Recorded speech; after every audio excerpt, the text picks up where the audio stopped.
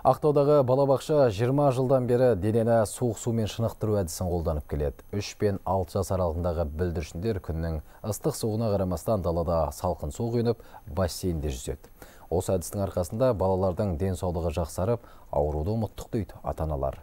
Бұл қалада денсаулық бағдарламасымен жұмыс істейтін жалғыз балабақша. Алты жасар Айбар бұл әдісті күнде екі рет жасайды. Таңертең балабақшаға келген кезде және түскі ұйқыдан тұрған кезде оның үстіне салқын су құяды. Үш жылдан бері шынығып келе жатқан балақай бұған әбден үйренген.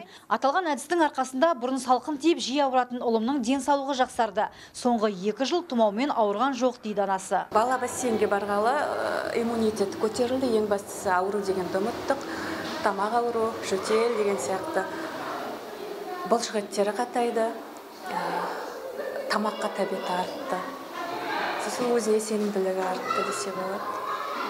Балалар ең бастысы өзіне ұнайды. Балабақшаға асығып құлшынып келеді Балабақшадағы 373 баланың алпысы салқын сумен шынығу шарасына қатысады. Ата-аналарының өтінішімен әрине. Балақайлар сондай-ақ аптасына екі рет бассейнге түседі. Мұндағы жаттығулар жарыс түрінде өтеді. Балалар суда жүзуді, тіпті су астында сүңгуді үйренеді. Бүлдіршіндерді мұнан соң ыстық монша күтіп тұрады. Буға жылынған балаларға итмұрын тұнбасы беріледі. Бірден салқын сумен далада шынықтырмаймыз. Ол жеңілден күрделіге қарай жүреді.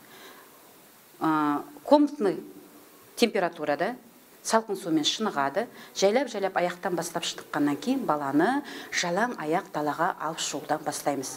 Күз айларында әрине күн әлі де жылы болады. Жылы күнде баланы жайлап жайлап далаға шығарамыз. Сонымен бала қыстада қар болсын жауын болсын салқын болсын жел болсын оның барлығында балалар салқын сумен шынығады. Балалармен бассейн медбекесімен арнайы инструкторлар жұмыс істейді. Тәжірибелі мамандар салқын сумен шынығу әдісінің балағзасы үшін пайдасының зор екенін айтады. Денсаулықтарының мықты болуына, жүрек қан тамырларының дұрыс жүруіне және иммун жүйесін көтеруге көмегі көп. Гүлмира Әбішева, Ринат Досалиев, Ақтау, Хабар 24.